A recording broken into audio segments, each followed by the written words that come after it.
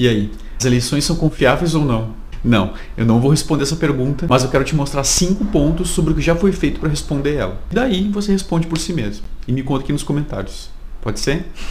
Ponto 1. No final do ano passado, o TSE emitiu uma resolução para auditoria das urnas. O artigo 6 listou várias organizações que podiam, podem e poderão auditar as urnas. Entre elas, a OAB, o Ministério Público, a CGU, a Polícia Federal, a Sociedade Brasileira de Computação e sim as Forças Armadas. Ponto 2. Antes disso, em setembro de 2021, foi feito um teste de segurança das urnas, coisa que é feita desde 2009. Foram 29 planos de ataque para acessar as urnas. Encontraram pontos vulneráveis sim, mas nenhum ataque foi bem sucedido. Ninguém conseguiu invadir o sistema, incluindo aí investigadores especialistas da própria Polícia Federal. Em agosto, agora de 2022, o teste foi refeito. Várias tentativas, nenhuma invasão. Ponto 3. Em agosto de 2021, um convênio de três universidades respeitadas mundialmente, USP, Unicamp e Federal de Pernambuco.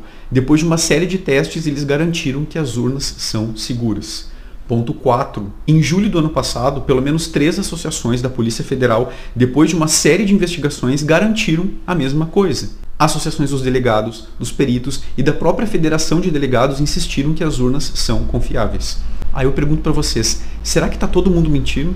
Será que é uma grande conspiração para falsificar os resultados? Eu não vou responder, mas eu acho que a gente tem que pensar. Ponto 5 e último. As eleições aqui no Brasil, elas estão sendo monitoradas por gente do mundo inteiro. No Brasil, são associações de juristas, defensores, universidades. Internacionalmente, a gente tem a Associação dos Estados Americanos, por exemplo, até os Estados Unidos. E aí?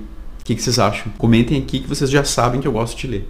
Aproveita e me segue aqui e lá na outra rede para mais conteúdos e compartilhe o vídeo com quem também tem dúvidas sobre o processo eleitoral. Um beijo!